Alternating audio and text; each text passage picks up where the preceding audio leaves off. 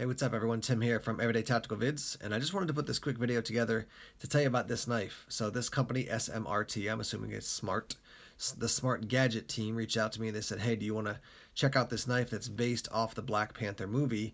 And I love superhero movies. I love Marvel. I love, you know, just comic book heroes, things like that. So I thought, yeah, let's definitely check it out.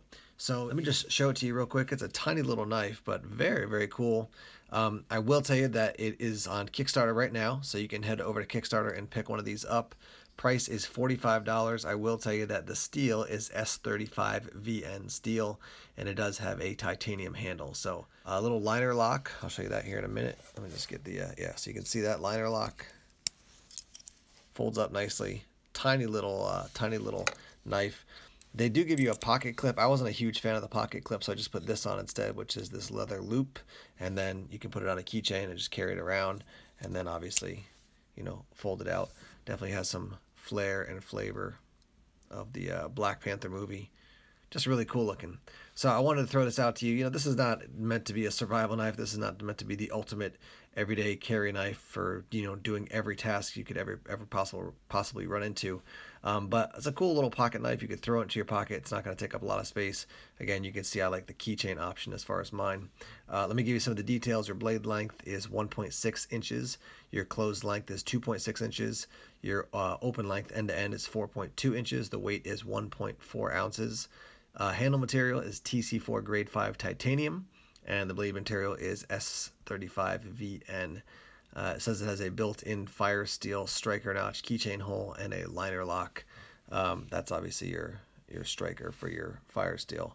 Um, but for me, this is like, you know, throw this into a pocket, and if I got to cut open some boxes, cut some string, cut some paracord, things like that, this would be a great knife to use for that purpose. As you can see on the back of the blade, this is designed by Niko Nikolic, and I'm not familiar with a ton of his blades, but uh, if this is the design he came up with and he has other knives designed like this, I'll definitely be looking forward to checking out some of his uh, his other designs, his other knives. The other thing I wanted to show you is this, which is a tungsten carbide glass breaker, which you can remove if you don't want it. Um, but yeah, just another little bonus feature to this knife. So you got the blade, obviously for cutting, and then the glass breaker there.